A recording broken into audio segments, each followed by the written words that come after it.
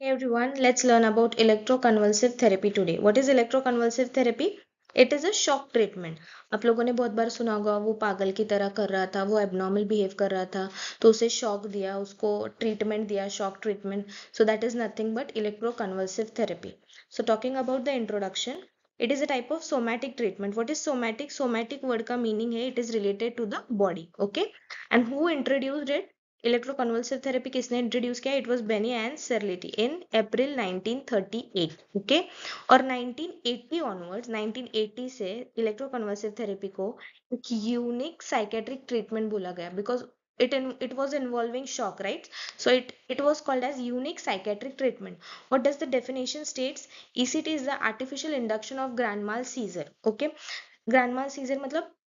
झटका आना जो हम बोलते हैं ना, उसको हम बोलते हैं seizure okay so it is artificial induction हम इंड्यूस करते हैं seizure through the application of electrical current to the brain मतलब हम क्या करते हैं इलेक्ट्रोड्स प्लेस करके हम इलेक्ट्रिकल करंट देते हैं, जिससे पेशेंट को सीजर आता है okay what are the parameters कितना वोल्टेज का करंट देते हैं? That is 70 to 120 which is most important you have to remember and duration also you have to remember that is 0.7 to 1.5 second 70 to 120 volt and duration is 0.7 to 1.5 second what is the mechanism of action किस तरह से ECT काम करता है?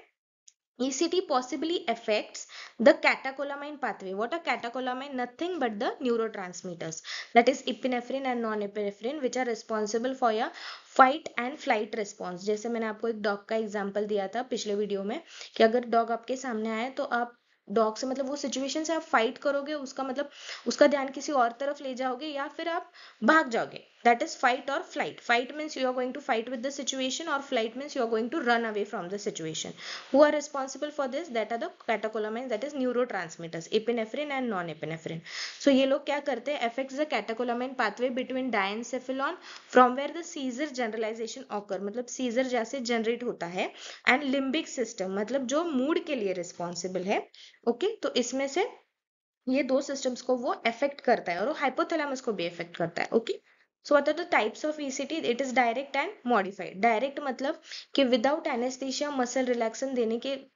दिया नहीं and ECT start कर दिया। मतलब कि ईसीटी e ट्रीटमेंट से पहले उन्होंने ना एनेस्थेशिया दिया मतलब ना भूल दी, ना मसल रिलैक्सन दिया डायरेक्टली शॉक दे दिया पेशेंट को। तो ऑब्वियसली पेशेंट को तो तकलीफ़ होना ही है। एंड मॉडिफाइड मतलब कि बाद में मॉडिफाई किया गया वो प्रोसीजर को, और ईसीटी e मतलब शॉक ट्रीटमेंट देने से पहले जनरल एनेस्थेशिया और मसल रिलैक्सन दिया पेशेंट को। Okay direct is not use now direct type is not use direct nowadays, modified is used, okay? क्योंकि उसमें जनरल एनेस्थेशिया और मसल रिलैक्सन देते हैं पेशेंट को। फ्रीक्वेंसी मतलब कितना टाइम करना है? थ्री टाइम्स पर वीक मतलब वन वीक में एक हफ़्ते में तीन बार कर सकते हैं और up to the physician six times भी कर सकते हैं टेन टाइम्स भी कर सकते हैं और up to twenty five times you can do it okay but probably one week में तीन बार होता है ओके एप्लीकेशन ऑफ़ इलेक्ट्रोड्स अपने को इलेक्ट्रोड्स प्लेस कहाँ करने हैं? So it is bilateral and unilateral what is bilateral bilateral means on both the sides and unilateral means on only one side bilateral means both the sides unilateral only one side okay unilateral means only one side so bilateral मतलब दोनों side से current दिया जाएगा and unilateral मतलब only one side से current दिया जाएगा। सो so, मतलब शॉक दिया जाएगा अब बायलैटरल में कहा प्लेस करते हैं हम इलेक्ट्रोड्स कि suppose this is your eye okay this is your eye and this is your ear this is your eye and this is your ear so from the lateral canthus of your eye till the tragus of the ear मतलब ये देखो यहाँ पे draw करती हूँ। This is your lateral canthus of the and this is your tragus of the ear इसके mid point पे करते हैं ओके okay? इसके मिड पॉइंट पे मतलब 2.5 टू 4 सेंटीमीटर अबो वन और one and half inches above मतलब ये इससे थोड़ा सा यहाँ पे हम इलेक्ट्रोड प्लेस करेंगे। ये है तुम्हारी आय और ये है तुम्हारा ईयर और ये तुम्हारा लैटरल कैंथस ये है तुम्हारा ट्रेगस और यहाँ से one and half inches one and one and half inches यहाँ पे प्लेस करेंगे हम electrodes that is in bilateral from both the sides whereas in unilateral it is on the only on one side only on one side मतलब preferably non dominant side non dominant मतलब कि जो तुम use नहीं करते हो okay so that is non dominant side पे हम इलेक्ट्रोड प्लेस करते हैं in unilateral okay now indications indications कब हम ईसीटी देते हैं पेशेंट को। जब पेशेंट मेजर डिप्रेशन में हो that time also you give ECT when the patient is in major depression he is not eating anything कुछ खा नहीं रहा है, कुछ नहीं डिप्रेस रह रहा है, खुद का खुद ही रह रहा है, किसी से बात नहीं कर रहा है। हम तब दे सकते हैं मेलानोकोलिया में भी दे सकते हैं। मेलानोकोलिया मतलब severe depression okay then severe catatonia में भी हम दे सकते हैं। सीवियर कैटाटोनिया में भी हम ईसीटी दे सकते हैं। Then severe साइकोसिस severe साइकोसिस means like schizophrenia okay severe साइकोसिस में आता है schizophrenia and also organic mental disorders organic mental disorders मतलब साइकोसिस वगैरह okay so in this condition we can give ECT one more thing we can give in T is in pregnant females where anti depression are contraindicated that time we can give if antidepressants are contraindicated or the patient is having any like heart failure or uh, if he is on tricyclics that time we can give ect to the patient so this are the indications मतलब हम कहाँ कहाँ पे ECT e देते हैं patient को। Contra indications मतलब जहाँ हमें बिल्कुल नहीं देना है ईसीटी e वो कब देना है? Raised ICP what is ICP intracranial pressure जब इंट्राक्रेनियल प्रेशर इलिवेट हो जाता है रेज हो जाता है, बढ़ जाता है, तब हम नहीं देते। Then we also don't give in cerebral aneurysm cerebral haemorrhage brain tumour acute myocardial infarction congestive heart failure retinal detachment pneumonia और ऑर्टिक एनोरिज्म मेजोरिटी ऐसा है कि हार्ट कंडीशन ही यहाँ पे मेंशन किया है उन्होंने, जैसे cerebral aneurysm cerebral haemorrhage heart failure okay और उन्होंने बोला है कि निमोनिया और ऑर्टिक एनोरिज्म में भी नहीं देना है। Then side effects what are the side effects which which ECT causes that is memory impairment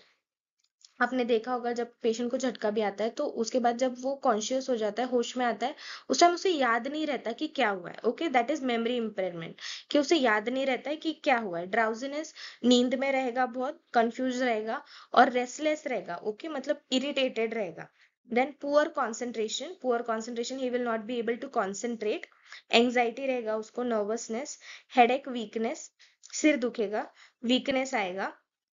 then fatigue back pain थकावट महसूस होगी पीठ दुखेगी मसल एक मतलब मसल उसके दुखेगे। Then dryness of mouth muscle pain रहेगा माउथ ड्राई हो जाएगा पाल्पिटेशन हार्ट बीट बढ़ जाएगी नोशिया रहेगा वॉमिटिंग रहेगा अनस्टेडी गेट अनस्टेडी गेट मतलब he will not be able to walk like अच्छे से सीधा नहीं चल पाएगा, कभी इधर हो जाएगा, कभी उधर हो जाएगा okay unsteady gait like we see an alcoholic patient जो ड्रिंक करते हैं उनमें। Then tongue bite tongue bite मतलब जब आ, उसको एपिसोड आता है सीजर का तो उसका जो टंग है उसके टीथ के बीच में आ गया तो टंग बाइट हो सकती है। और इनकॉन्टेनेंस मतलब अनेबिलिटी टू कंट्रोल हिज और हर यूरिन सो इनकॉन्टिनेंस हो जाएगा। उसके बाद में role of nurse which is most important and you have to write it in the paper is role of nurse pre operative pre operative मतलब कि ईसीटी e से पहले क्या क्या करना है। इंट्रो ऑपरेटिव मतलब ईसीटी e जब चालू रहेगा प्रोसीजर तब क्या करना है। और पोस्ट ऑपरेटिव मतलब after ECT is been done उसके बाद में क्या करना है।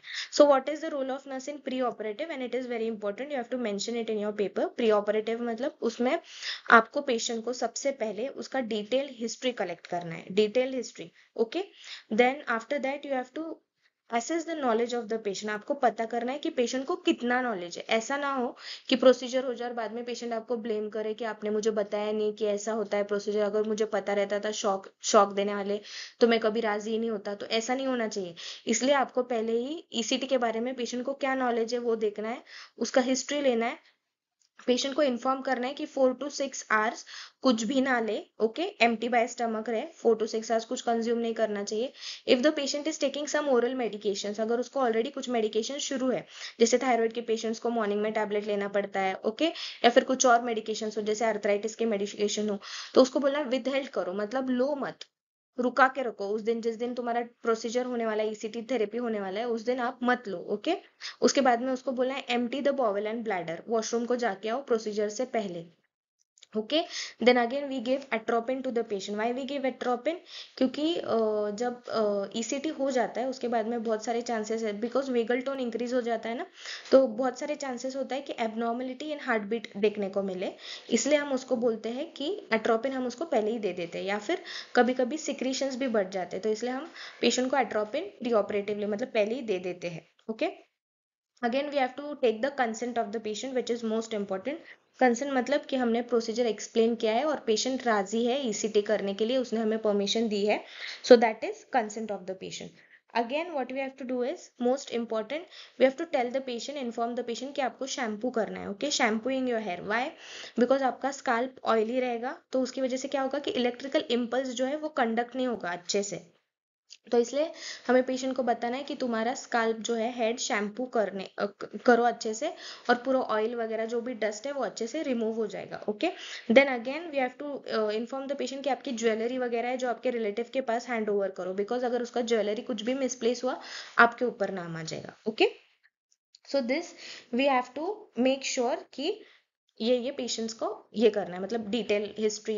assess the knowledge उसको ईसीटी के बारे में क्या नॉलेज है ज्वेलरी दो उसको हैंड ओवर करने को बोलो। देन बॉवेल ब्लैडर एम्प्टी करने को बोलो। Then again you don't have to consume anything we have to inform him four to six hours empty by stomach रहना है। Then again have to uh, administer atropine to the patient and consent should be taken so everything you should keep in mind okay this is in pre-operative okay head shampooing is also very important then again in intraoperative matlab during the procedure so what you do during the procedure most important we have to administer anesthetic and also muscle relaxant to the patient okay anesthetic or muscle relaxant administer karna hai anesthetic jai thiopentone sodium and muscle relaxant like succinyl choline you have to administer to the patient okay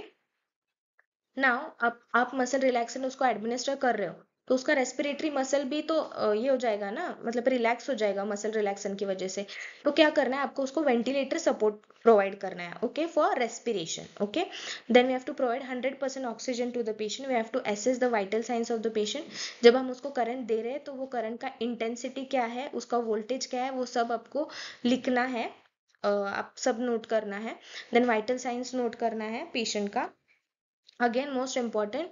whenever you are going to place the electrodes जैसे मैंने आपको बताया था कि आप ऐसे electrodes patients पे place करते हो तो आपको वो जहाँ पे आप इलेक्ट्रोड प्लेस करने वाले हो, वो एरिया आपको नॉर्मल सलाइन से या फिर 25 परसेंट बाइकार्बोनेट सोल्यूशन से वो एरिया क्लीन करना है, जहाँ पे आपको इलेक्ट्रोड प्लेस करना है okay and you have to provide mouth gag to the patient I show you in the next picture what is mouth gag mouth gag हम इसलिए प्रोवाइड करते हैं ताकि टंग बाइट ना हो। जैसे हमने देखा टंग बाइट होता है पेशेंट का तो इसलिए हम उसको माउथ गैग प्रोवाइड करते हैं। Then again we have to place the patient मतलब जब प्रोसीजर आप स्टार्ट करो place the patient on the table comfortably in supine position